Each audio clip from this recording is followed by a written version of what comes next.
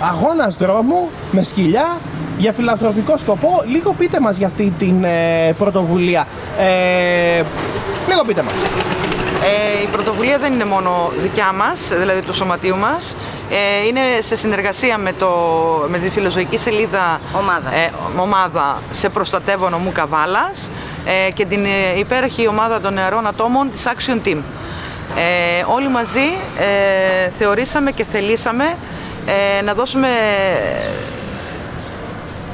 το δικό μας αγώνα με τα σκυλάκια ε, για τον αγώνα που δίνει ο Ραφαήλ για τη ζωή του. Ε, Ε, δηλαδή σε γενικές γραμμές τι θα περιλαμβάνει αυτός ο αγώνας; Δηλαδή θα είναι αγώνες ε, δρόμου για ένας αγώνας για όλα τα σκυλιά, θα είναι αγώνας ανακατηγορία, πώς θα πάει; Θα είναι ανακατηγορία, θα υπάρχουν τρεις κατηγορίες, μικρόσωμα, μεσαίου μεγέθους και μεγαλόσωμα.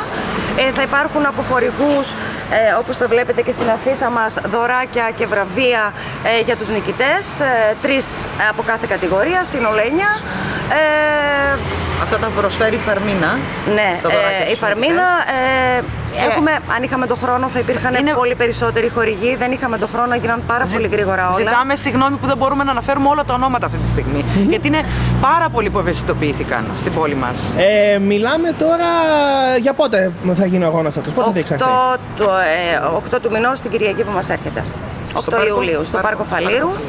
Ε, εγώ αυτό που θέλω να, να πω είναι ότι δεν χρειάζεται να έχεις τους σκύλους σου για να έρθεις, να προσφέρεις, να βοηθήσεις, να στηρίξεις τον αγώνα αυτού του παιδιού.